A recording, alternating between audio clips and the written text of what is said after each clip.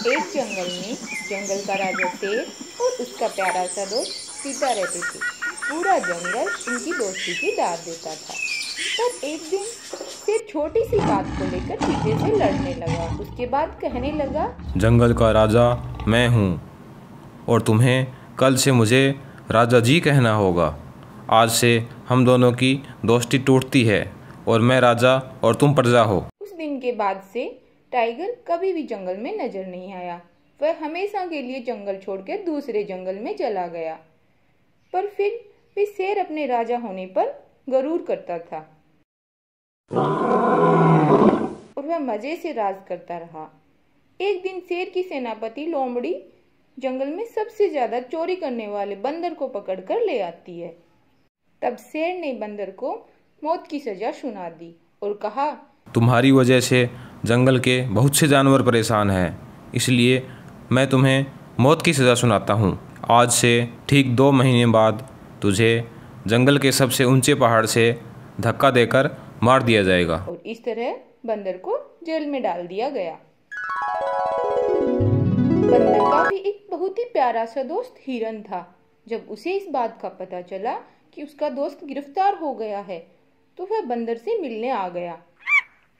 और कहा, देखो दोस्त, हमेशा तुमसे कहा करता था ना कि गलत काम मत करो। एक दिन तुम्हें इसकी सजा भुगतनी पड़ेगी।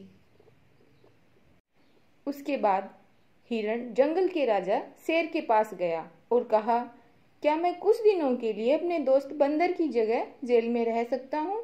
और आप मेरे दोस्त बंदर को कुछ दिनों के लिए जेल से निकाल सकते हो? शेर ने कहा, तुम्हारा दोस्त बंदर अगर दो महीने बाद वापस नहीं आया तो उसकी सज़ा तुम्हें भुगतनी पड़ेगी। ने कहा, जी महाराज, मैं उसकी जगह पर मरने के लिए तैयार रहूँगा और उसके बाद हिरण को जेल में डाल दिया जाता है। बंदर को आज़ाद कर दिया जाता है। बंदर जाते समय हिरण से कहता है, दोस्त, तुम सिर्फ़ कुछ दिन इंतज़ार करो, मैं बहुत जल्द वापस आ जाऊँगा। लगभग दो महीने पूरे हो जाते, पर बंदर वापस नहीं आता है।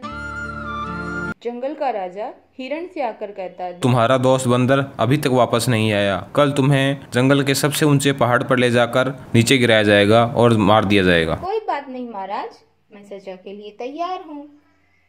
और अगले दिन हिरण को जंगल के सबसे ऊँचे पहाड़ पर ले जाया जाता है और उसी पर समय बंदर भी वहाँ आ जाता है और कहता है बहुत बहुत शुक्रिया मेरे दोस्त अब तुम आज़ाद हो।